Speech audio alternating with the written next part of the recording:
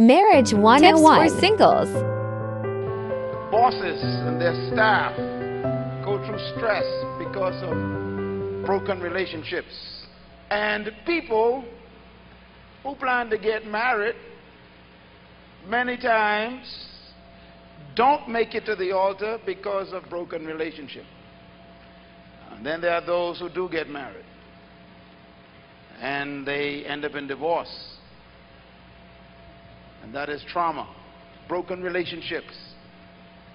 Then there are those who are planning to marry again after divorce, relationship problems. What a struggle. Then there are those who are married and they seem to be doing well. They're the ones I'm especially concerned about because uh, they don't tell the truth most of the time. They parade a good face. They pretend, and all the while they are going through silent hell.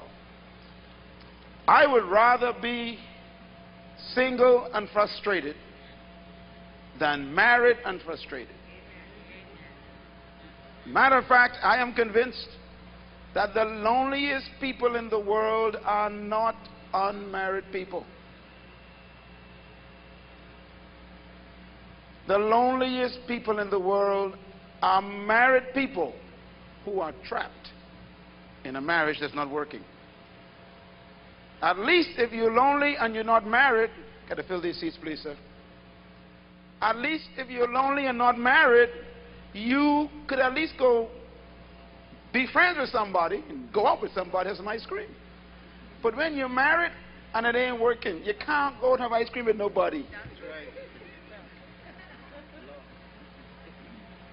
It's, it's hell on earth. As a matter of fact, it's more important for you to not be married than to be married and wish you weren't. Don't marry a person because you think you love them or they say they love you. Wrong reason. Love does not make marriage successful. Now, your grandmother and your grandfather stayed together, but it wasn't because of love. It was because of the culture at that time that we call respectful dependency. She depended on him for her livelihood because 50 years ago, women were not working outside the home. And so it was very, very understandable for a woman to remain with a man no matter how he treated her. And some of you got stories that you can tell me about your grandmother putting up with so much and never leaving. Not because she didn't want to leave, believe me, but because of the socio-economic cultural environment, it was to her benefit to stay in spite of. He also depended on her because he was not ready to bring up the children by himself. And he was not going to clean up no house. So he depended on her, she depended on him, and therefore the unity was based on mutual respect and dependency, not love. However, that has changed now, hasn't it? Because now women are out working the same hours you're working. Which means when they come home tired, you're tired, and they're tired now. And so your grandfather used to meet the food on the table. But things change now. Ain't no food on the table, not unless you get Kentucky on the way back home. Having a warm bath run for you and your newspaper on the chair with your bedroom slippers waiting at the at the La-Z-Boy chair, them days are over. different world. And what's even more challenging is the relationship is no longer dependent on dependency. Because he could leave you now and put the kids up for adoption, or he could keep them and let a daycare center bring them up. She could leave now and still keep her standard of living because she probably making more money than you anyhow. Matter of fact, when you met her, she had a car already and perhaps a house and some real estate. See, things have changed. So don't get this idea that relationships work because of love. Now, love is important, and you got all kind of definitions of love. We're going to deal with that later on in about two weeks. But, but this is important to understand that, that love does not make a successful relationship, especially when you talk about marriage. And so I want to clarify some things. Uh, I want to begin tonight with a scripture that I call it the pivot of Jesus' discussion on singleness, marriage, and divorce. In one chapter, he dealt with all three of them. He dealt with singleness, he dealt with marriage, and he dealt with divorce in one chapter. Turn your Bibles, if you have them, to the book of Matthew, chapter 19. Matthew, chapter 19. I keep referring back to this because I believe it is the New Testament's charter on relationships. This passage is loaded with Jesus' secret wisdom on male female relationships. Women get along fine with women, and men get along fine with men. But when a woman and a man get together, the potential for conflict goes up by 98%.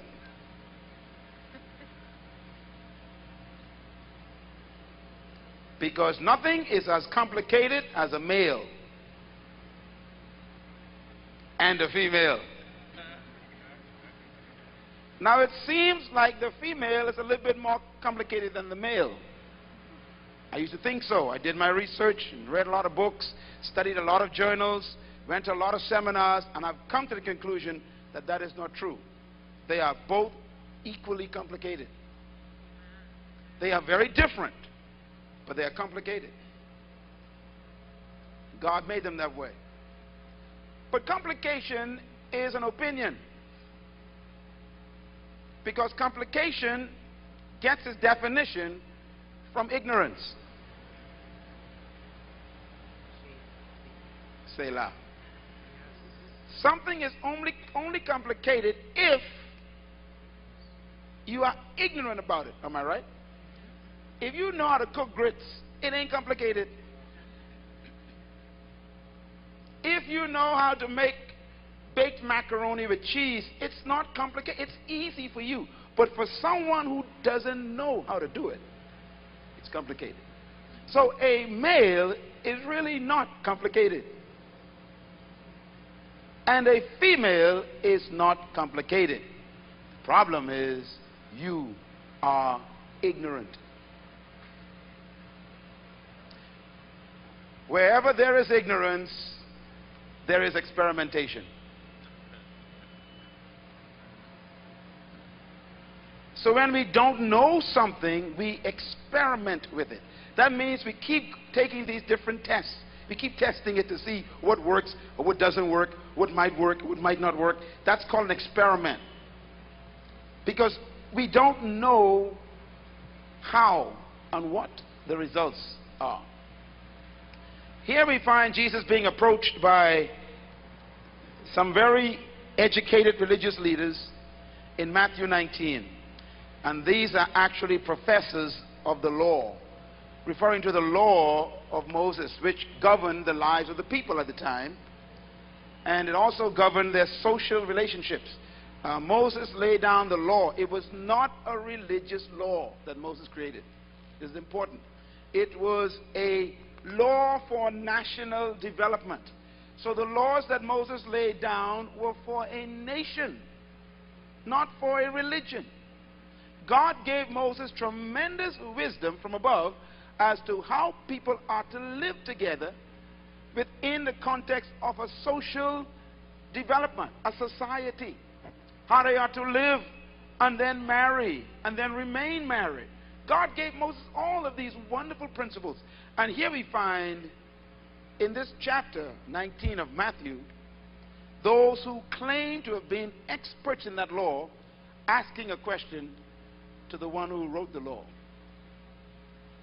Let's read what they say. Verse 3 Some of the Pharisees, that's the law, lawyers, came to him to test him. And they asked, Is it lawful for a man to divorce his wife for any and every reason?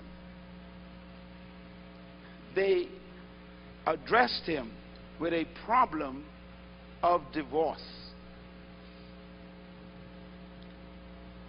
To understand the context of this verse, you have to learn a little bit of hermeneutics. You must go back and study the history and the environment and the culture. Uh, this event is taking place 400 years after Malachi dies. Malachi is the last book in the Old Testament. Malachi was the last prophet that God spoke to regarding the coming of the Messiah. And Malachi also introduces John the Baptist in his last chapter. In Malachi, let's consider this now, 400 years before this event here in Matthew, Malachi was alive. In the time of Malachi, the number one epidemic in society was divorce. As a matter of fact, some of you are looking at me funny, so let's just take a look at this. Uh, Sometimes I say things I forget that, you know, you might not know what I know. Turn to Malachi. Go back to the last book in the Old Testament. Very interesting.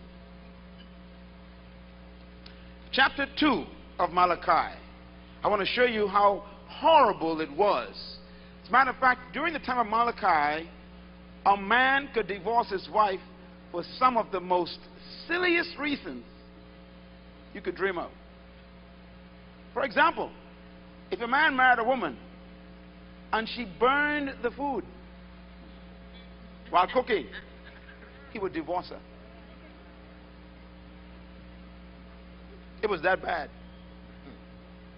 If a woman went to bed with her husband and he approached her for intercourse and she did not advise him that she was in a menstruation period, he divorced her. It was dumb. It was so bad. A woman could get a divorce during the time of Malachi if a man was having a meal with his friends, men friends, and she came in and stayed too long in the room. It was silly, but it was real. So we find God prophesying through Malachi against this attitude of this destruction of marriages. I won't read the whole thing, but I want you to just get the spirit of it. Look at verse 13. God is prophesying through Malachi. He says, Another thing you do, you flood the Lord's altar with tears. You weep and you wail because he no longer pays attention to your offerings or accepts them with pleasure from your hands. You ask, Why? Doesn't the Lord hear my prayer or receive my offerings? You know, you're complaining, Why don't God answer my prayers? Why am I not getting any more miracles from God or whatever? He says, You ask why. And he answers, It is because the Lord is acting as the witness between you and the wife of your youth. Underline that. In other words, God was at your wedding. You thought it was only the bridesmaid and the groomsmen that was witnesses. He says, but I was there. And I witnessed you telling this woman, you will love her and her only until you die. And I heard you tell this man, you will submit to him and be a wife to him until you die. He says, I was present and I was taking notes. Read the next statement. But you have broken faith with her. Your prayer depends on your vows.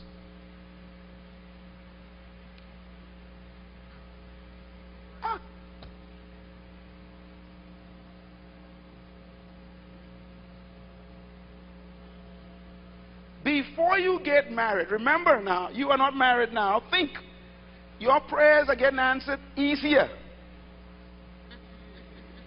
When you get married, the person you married could mess up your prayer life.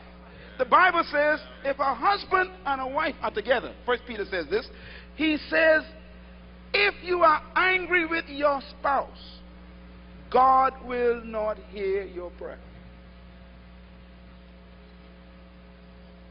So you ain't married now, your prayers could be answered easily. Remember when you are marrying someone, you are marrying a potential prayer hinderer. Serious business. Because if you're mad with your wife, you cannot go in the next room and pray.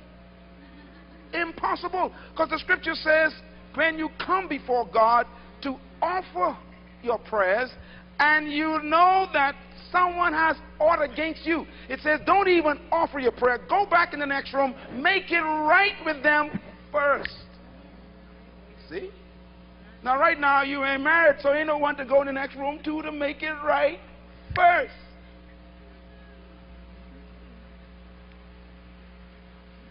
All the married people smiling at me. They ain't saying if they're smiling. They know what I'm talking about. This is heavy stuff here. He said, That's why I don't listen to your prayer. Watch this. He says, Even though she is your partner, underline that. She ain't your domestic servant. I am reading Old Testament here. He says, Your wife is your partner, not your slave to wash dishes and iron shirts and cook food. She is your partner. Partner means equal in status, equal in contribution, equal in value, equal in worth, equal in substance. She's your partner.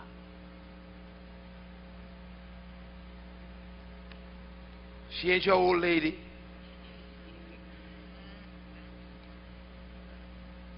She's your partner.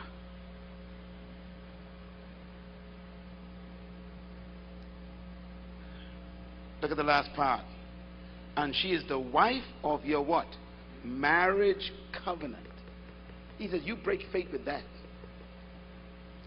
Verse 15, he tells us why he married you. Now, this is important here because when we read uh, Matthew again, you're going to see he connects us to this statement. He says, Has not the Lord made them one? Who made them one? See, God was at your wedding, or if you get married, remember, you don't need to send an invitation to God.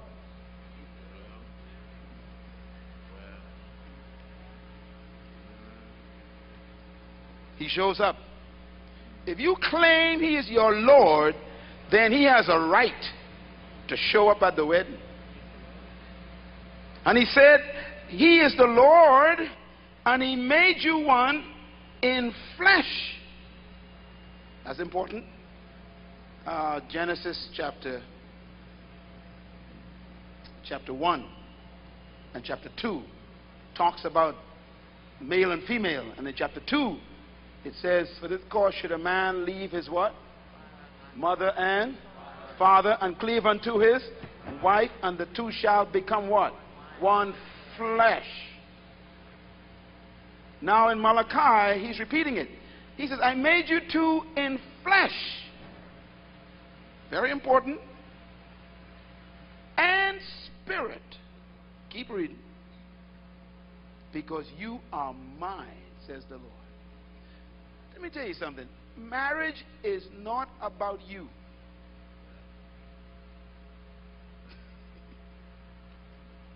I want you to think about this.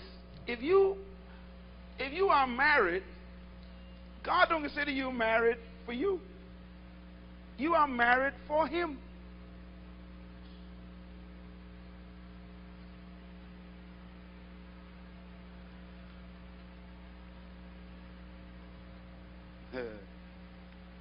God will give you a wife because of something he wants from you. Can I prove it? Let's read it. He says, I made you one in flesh and spirit. You are mine. And why? He asked God saying now, let me he said, You want to know why? He answers it. He says, Because I was seeking godly seed. You know why people get divorced? Because they got married.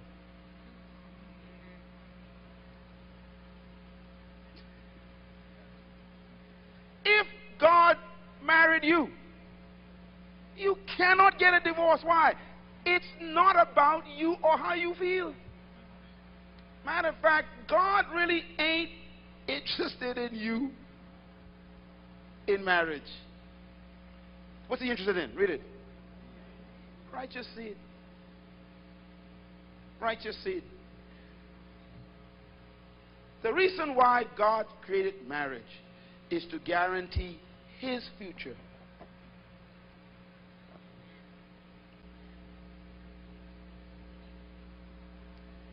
Your children are more important to God than your feelings toward your husband.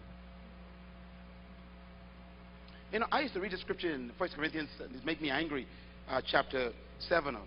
Uh, it says, if you live with an ungodly person, stay with them. he said, no matter how they behave, stay with them. And it tells you why. It says, so that the children might be sanctified. You see, it's not about you.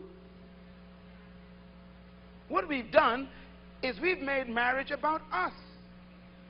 Whether am I happy? Am I satisfied? Am I comfortable? Do I still love him? Do I still love her? Do I still want to put up with this person? Do I like their personality? Do they? Do I like what I found out?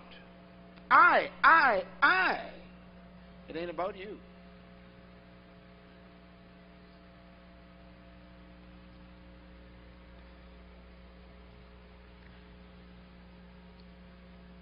Know why God loved Abraham? I figured it out years ago. I was about 18 years old when I figured out the revelation about Abraham. God says, Abraham, this is found in uh, Genesis chapter 18. He said, Let me tell you something. He said, The reason why I love you and I will tell you secrets is because you will teach your children and your servants the commandments of the Lord. In other words, you are going to make your offspring righteous. I'm going to be your God.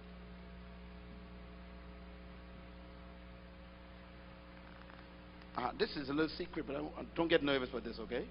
But let me tell you something. The more righteous you are, if you're not careful, you'll have plenty of children. yeah, now, the reason is because God wants righteous seed. So when you become a more righteous man, a more righteous woman, God begins to find a womb that guarantees the potential of righteous seed.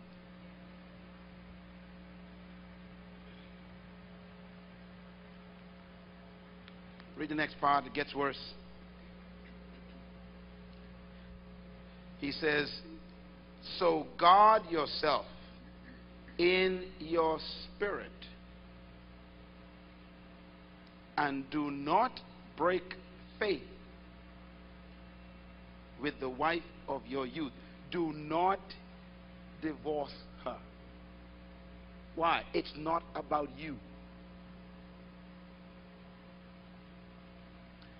If you want to have children as a married couple and you have a little child challenges, you know what to do? Use this verse and go back and pray. Put it on God. All right, God, I am now ready to produce righteous children. I am available. You will conceive. Because this gives you a kingdom promise.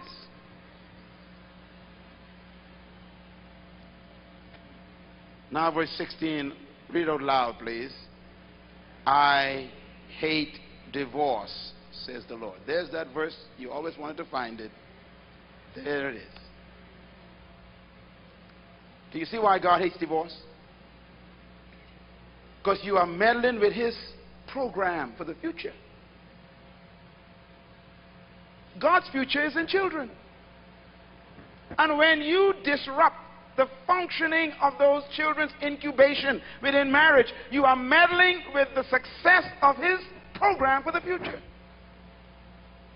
That's why you must stay married. This time it has to work. It ain't about you.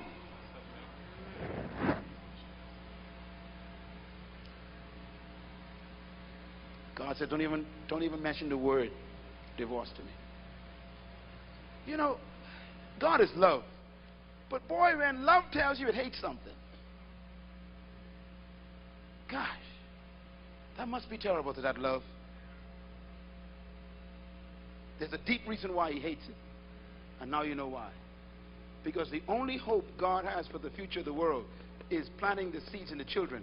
And when you disrupt that, you are interfering with His will and His purpose in the earth. That's why God really calls a homosexuality an abomination because it disrupts the program. So don't get involved in all the other discussions about it. It's this disruption. He hates that also because it disrupts the program. There's no way that God ever planned for two men to bring up a child. It, it, cannot work. The child will come out imbalanced and temporarily insane and perhaps permanently damaged psychologically. Because God's program is for the unique, inherent female idiosyncrasies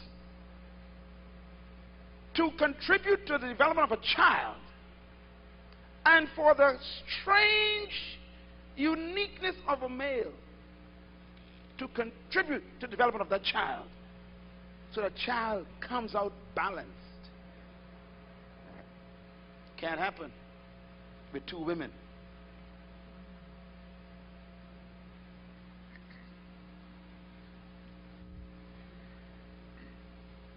I hate divorce, says the Lord, the God of Israel. Verse 16, read it. And I hate a man's covering himself with violence, as well as with his garment, says the Lord Almighty. I hate divorce, and I hate a man trying to cover up the reason why he should do it.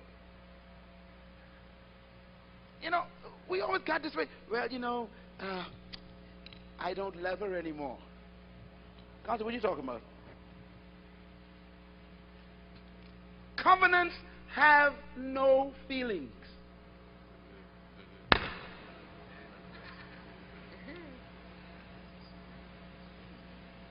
When you sign a contract, there is no feeling in that paper. I don't love him anymore. God says, so what? You're trying to cover up your selfish desire to be free again by this vain leap explanation. He says, go back and consider why I married you in the first place. Children's sake.